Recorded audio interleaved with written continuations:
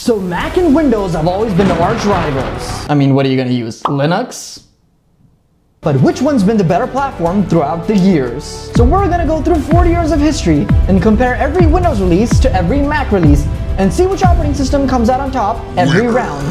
And the platform which wins the most rounds is the clear winner. So come along kids as we put these two times of industry head to head and find out which one is the superior platform. Before you find out the winner though, make sure to comment which OS you think will come out on top. Get ready. Fight. So Windows 11 is, is, is, okay, I know you lot don't like it, but I do. I do use macOS Sonoma daily, but I also use Windows 11. So I am neutral. So why are we comparing Windows 11 with macOS Sonoma? Because I happen to have it on my computer. It's not just laziness, okay? Apple makes like two changes, bundles it in a new release, and calls it El Nino or whatever. But Windows 11 is controversial, while macOS doesn't rock the boat. So who's gonna win? Go. So let's start off with Windows 11. Everybody's favorite operating system, guys. Ooh. Okay, now let's start off with Windows 11. Just ignore it. You saw nothing. You know, the UI is like much more um, tasteful. I think this design language is actually called uh, Mica. Mac, you rat. You know, Mac always looks a little, that's how I describe it. But Windows 11 also got a little but it's got something. I am so articulate, guys. It's Windows basically runs on anything. Like Windows 10 will run on a fucking potato, bro. But then Windows 11 won't run on your computer from like 2018. I was like, what the hell? Also, people were really, um, really happy with the start menu moving to the center. If you try to search Google Chrome on Edge, it'll be like, there's no need to download a new web browser. Microsoft is really like, please, please, I beg. So moving on to Mac OS. Also, I didn't clear the desktop just because we're recording. It was already clear. What can I say, guys? I'm a clean person, organized. I do like this notification center though, like how iOS and Mac OS is integrated. And apparently widgets are like a thing. Um, ooh, whoa. Uh, shop. Uh, Already been fucked over, guys. Guys, let's check the stock, yeah, because I'm a businessman. I got business plans. macOS Sonoma is very cool, but nothing's really changed. So in the fierce competition between Windows 11 and macOS Sonoma, it's not like a competition competition, let's just be honest. Look, I like Windows 11. It's very stylish and modern looking, but given its massive controversies with the system requirements, the TPM chips, and the fact that it's still losing to Windows 10, I'm gonna have to give this round to macOS Sonoma. Get ready. Fight. Now Windows 10 is beautiful, magnificent, marvelous. You probably still use it. On the other hand, if you still use macOS El Capitan, you're just broke. Like, make some money, man. Go to a charity or something. But we're not just looking at how they compare today. We're gonna go back in time. So let's rewind the clock to 2015 and see who comes out on top. So welcome to Windows 10. Clear, connected, confident. That's not the slogan, but it should be. What is it the slogan for? Comment down below. Not me personally. I still use Windows 10 more than Windows 11. I've never actually opened the Microsoft Store. Let's see what's in there. Do I not have internet? Oh shit, I don't have internet. iCloud is 2.6 stars. Wait, you still can't get iTunes? What the hell? The Curse of La... La uh, fuck. Oh, you can get movies as well. I didn't know there was all the... They, we have video games now? I just get them from Steam. Really, why didn't people like this game? Okay, I feel like we're getting sidetracked. Although one thing I will criticize Windows 10 for is I do not like the Windows 10 aesthetic. It belongs in a office. That's just ugly, bro. Why? Windows 11 is beautiful. And as we all know, it's what's on the outside that matters. Now, it's time for macOS El Capitan, which was the contemporary, guys. Yeah.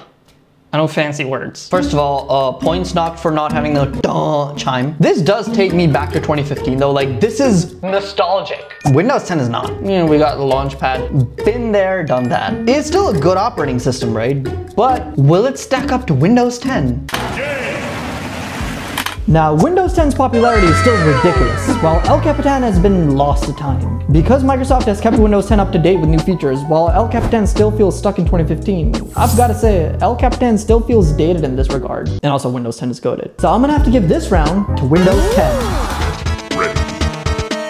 Fight. No, I, it's, it's not that, you know, it's, bun Windows 8 is just a disclaimer because I'm gonna get mad. Look, I'm gonna give it a fair shot, but no, I'm not. Why does Windows 8 suck? Because Microsoft thought tablets were the future, so they made their desktop operating system tablet-like. Meanwhile, Mountain Lion was also inspired by tablet features, but it was more like, hey, let's add a launchpad. Hey, let's add more iOS features into macOS. So let's put them to the test. Ready? Go! It's time for nobody's favorite, Windows 8. Why? You make me this, bruv? It fixed itself, but can you fix this bullshit? Nah. I'm gonna calm down. Ah! But, you know, the Microsoft Store was introduced here, which is, um, nobody fucking uses it, man. It's a useless feature. I hate full screen shit. I feel stuck. Like, I can't breathe. It's not gonna fucking load, is it? it? This might seem like it's Aero, but when you look closely, it's not. Like, look, see this? Yeah.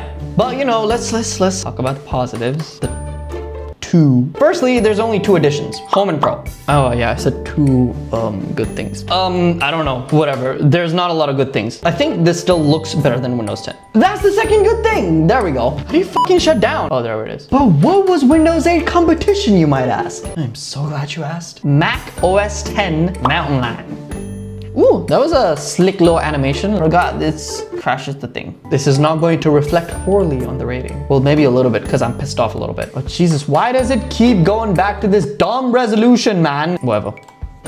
Oh, uh, we got, jeez, that is unstable, my guy. Maybe I should have used a real Mac. And actually, I do have a real Mac. Why did I do it on Windows? I guess if we open any application, it's just gonna fucking crash. So let me just not. Look, but don't touch. I like the old you again. Man, this keyboard is sick, bro. I know this is not part of the review, but damn. Let me just not risk it and like shut it down before it crashes again.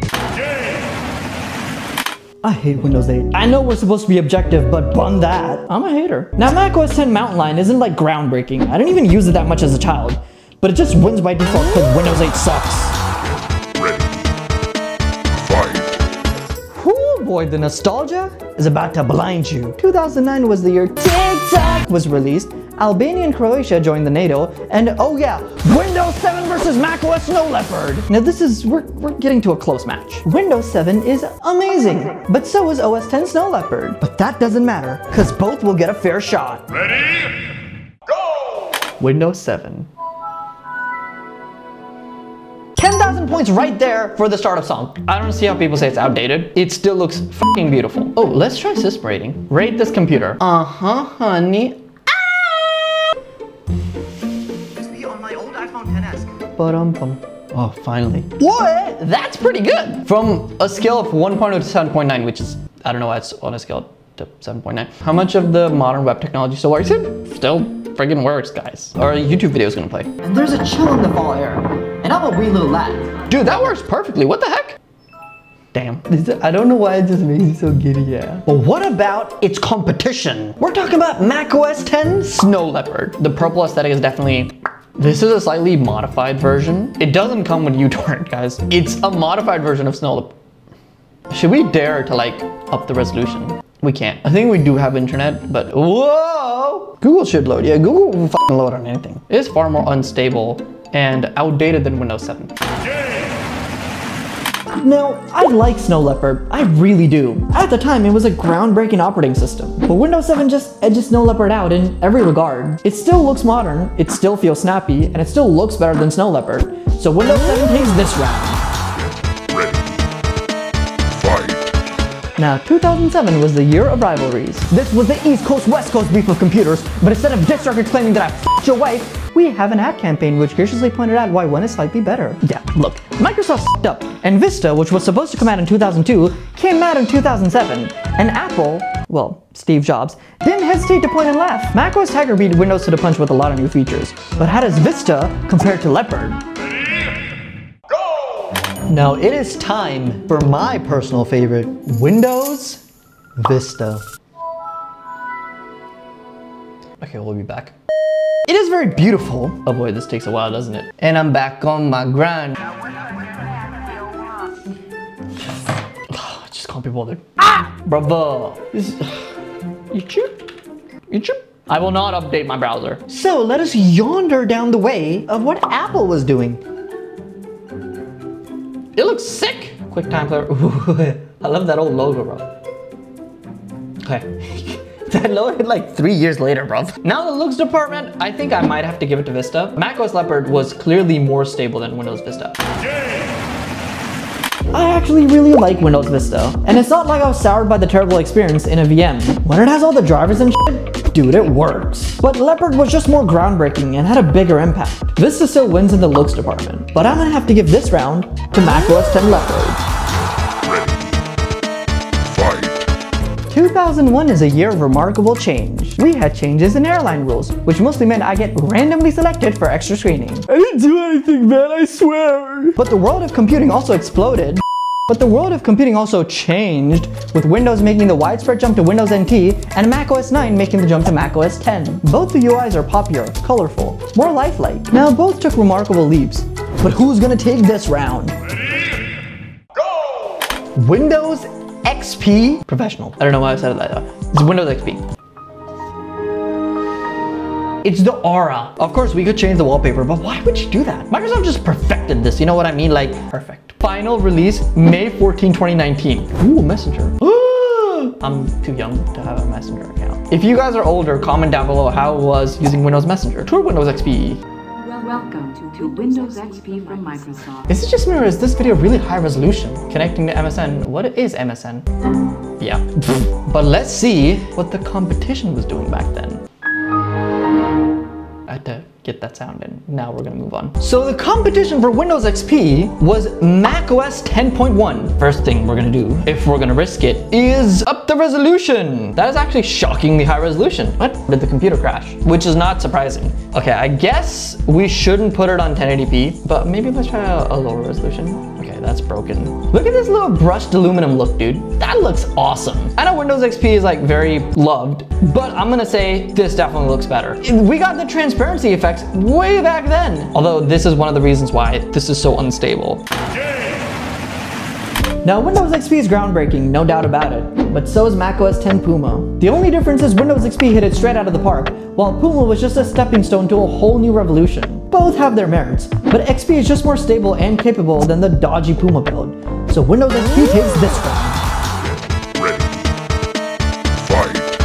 Now 1998 is a time of boy bands, the dawn of the internet, presidential scandals, and Windows 98 took full advantage of that. The internet, I mean not Monica Lewinsky, although the the internet probably helped with that. This was also when Microsoft was getting sued for being too successful by the government, meanwhile Apple was starving. In fact, the whole internet came together and agreed not to pirate macOS 8.5 to save a dying Apple. Oh, isn't it nice when the internet is wholesome? But I will not be so wholesome in judging these two systems. Ready. Go! Windows 98 from 1998. You probably knew that. Wow! Wait, I forgot I installed Netscape Navigator on this. What was the error sound on this?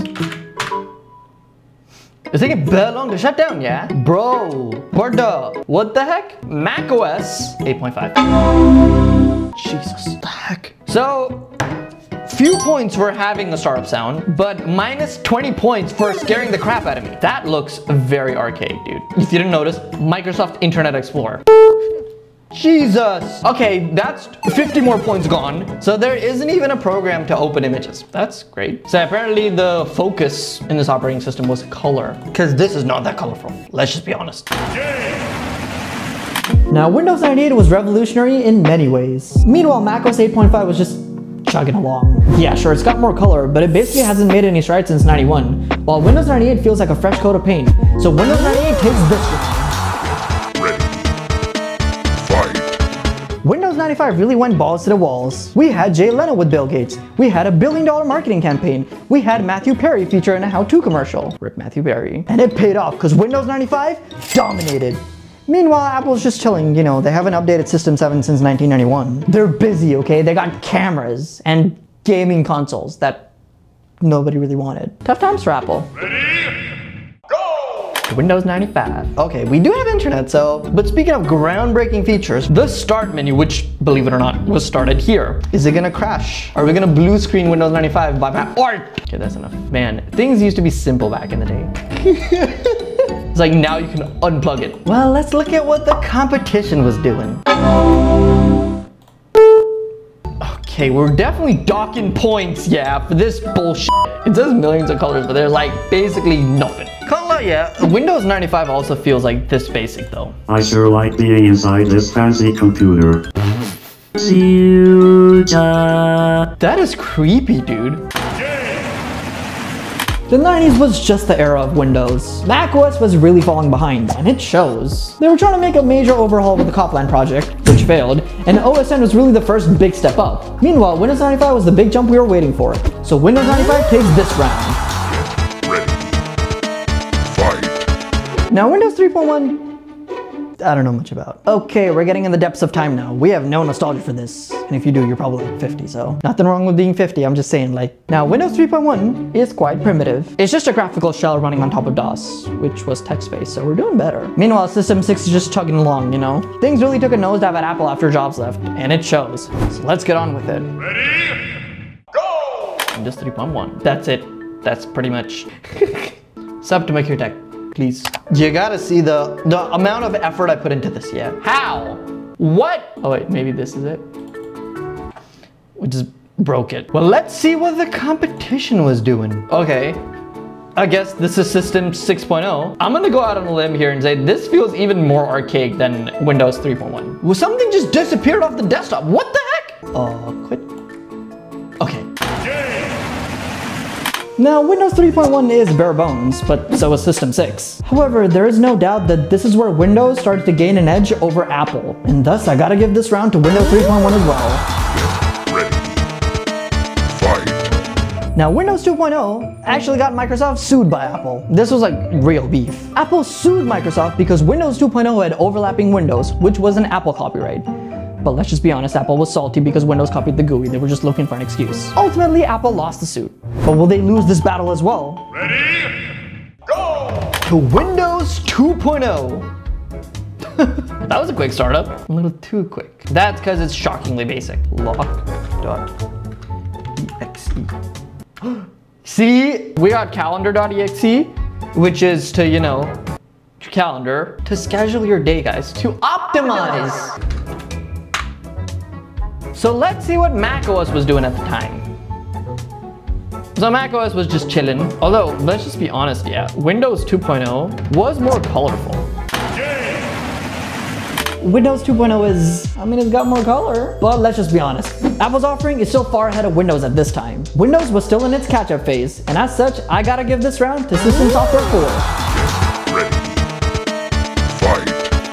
Gather around, kids, because it's story time. So in the 1980s, Microsoft used to work for Apple, and they created PowerPoint, Excel, and Mail for the Macintosh. But Bill Gates saw that, oh, you have a mouse and icons and shit that you can click on. We could do that. So they did, and called it Windows 1.0. This led to the original East Coast-West Coast beef between Steve Jobs and Bill Gates, and the original rivalry between Apple and Microsoft, which is what I'm capitalizing on right now. So who will win this final round? Ready.